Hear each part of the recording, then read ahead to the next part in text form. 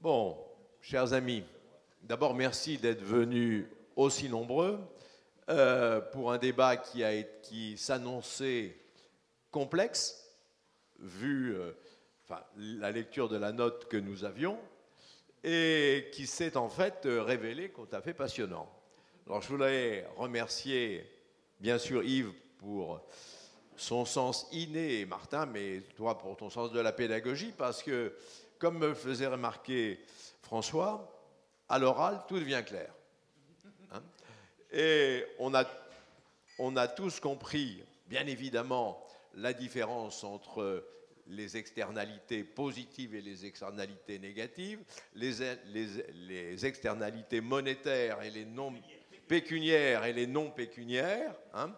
Et euh, bien évidemment, ça nous a aidé à arrêter, j'allais dire, les objectifs d'une euh, prise en compte des externalités, l'efficacité des infrastructures et des transports, la réduction des émissions, la régulation de la congestion. Hein.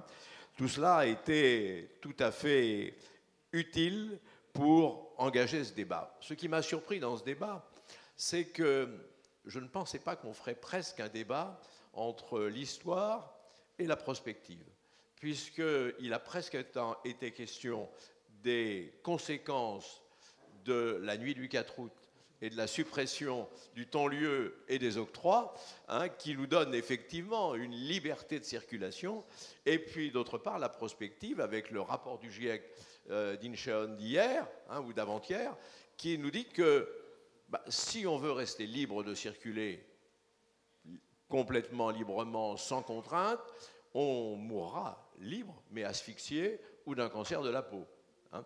Donc euh, ici, le débat, il a besoin d'être euh, encore euh, développé, approfondi. La pédagogie, comme quelqu'un l'a dit, est essentielle pour arriver à partager les conclusions de ce débat et faire en sorte qu'on aille vers une plus grande acceptabilité hein, en matière de en matière de tarification des infrastructures, en matière de, je dirais, tarification aussi de la mobilité. Alors, bien sûr, hein, ici, je retiendrai, moi, quatre ou cinq mots hein, dans ce débat. Le premier mot, on le connaît depuis longtemps, c'est celui de l'acceptabilité. Souvenez-vous, le 13 février de l'année dernière, nous étions dans la même salle pour parler de la, transposition, de la révision de la directive Eurovignette. Et c'était déjà sous-jacent dans le débat. Nos amis de l'OTRE et de la FNTR nous disaient non, on ne peut plus accepter de paiements supplémentaires. Cela, comme l'a dit François tout à l'heure, pénalise euh, le transport routier français, le pavillon français. Et on avait compris quand même que si on devait arriver à une tarification, l'affectation hein, serait la condition de l'acceptabilité.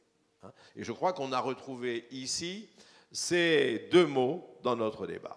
Mais je crois qu'un des vrais sujets également, c'est le sujet, bien évidemment, du changement des comportements. Hein. On a ici, dans matière de comment de transport, on nous a dit on, va on a besoin de plus de mobilité. Mais est-ce qu'on n'a pas besoin aussi d'une mobilité mieux organisée et peut-être aussi d'une sobriété en matière de mobilité hein Depuis 20 ans, toutes les communications publiques nous disent qu'on doit être sobre en matière énergétique dans nos comportements domestiques. On nous incite à isoler nos maisons, on nous incite à baisser le thermomètre euh, ou le, thermostat du radiateur. Bon, est-ce qu'il n'y a pas aussi à inciter les Français à une certaine sobriété et les entreprises à une plus grande efficacité dans l'organisation de leur mobilité. Il y a à côté de nous Olivier Paul Duboitaine qui suit une expérience depuis trois ou quatre ans qui s'appelait Mobilité, Bretagne Mobilité Augmentée, qui, au travers de 60 démonstrateurs, a amené des collectivités, des entreprises à regarder complètement hein, leur euh, fonctionnement et surtout leur mobilité. Et certaines entreprises, notamment dans le BTP, se sont rendues compte qu'elles avaient des marges d'économie et d'efficacité très importante hein, en revisitant complètement toute leur mobilité interne et externe. Donc, moi, je crois à la sobriété, je crois à une plus grande efficacité. Et puis enfin, il y a un autre sujet. Depuis 2002, le grand leitmotiv de l'aménagement du territoire, c'est la métropolisation et c'est la compétitivité des territoires. Et ici, on a complètement abandonné toute euh, réflexion de fond sur l'avenir des autres territoires et de l'activité sur ces territoires.